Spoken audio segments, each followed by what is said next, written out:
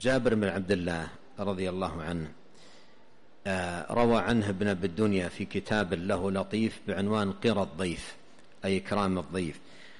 قال هلاك بالرجل هلاك بالرجل يدخل عليه الرجل يعني يدخل عليه ضيف في بيته هلاك بالرجل يدخل عليه الرجل من إخوانه فيحتقر ما في بيته أن يقدمه يحتقر فيما بيته أن يقدمه. إذا جاءك ضيف ودخل عليك في بيتك لا تحقر شيء عندك في البيت.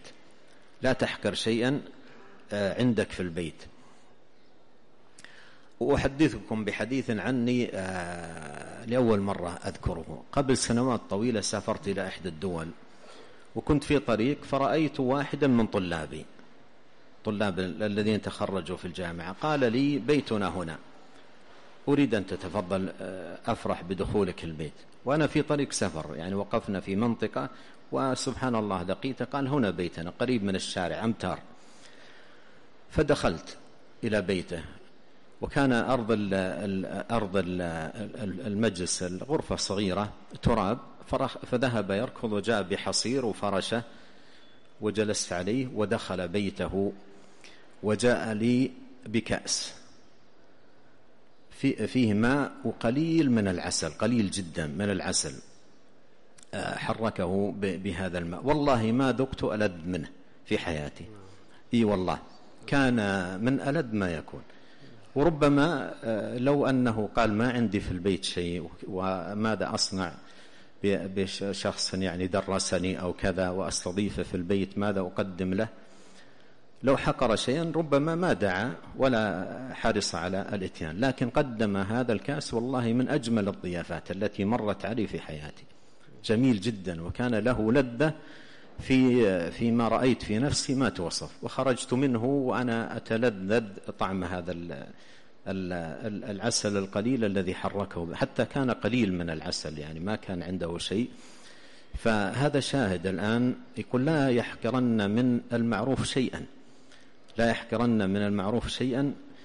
آه، وأثر جابر يقول هلاك بالرجل يدخل عليه الرجل من أخوانه فيحتقر ما في بيته فيحتقر ما في بيته أن يقدمه.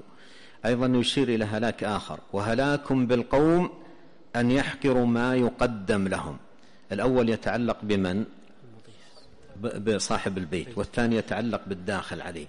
إذا دخلت على أحد وقدم لك شيئا وكان الذي قدمه قليل لا تحقر هذا هلاك هلاك بك أن تدخل على رجل ويقدم لك ما تيسر وتخرج وتحقر الذي عنده.